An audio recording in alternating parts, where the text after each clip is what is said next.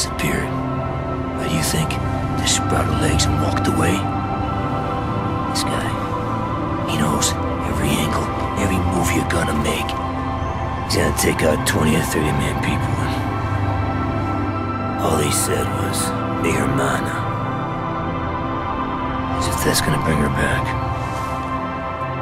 The dead don't suffer. That's why you and I are still here.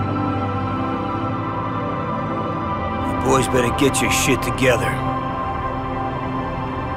He's gonna attack. Your old man. He's doing okay in Alaska.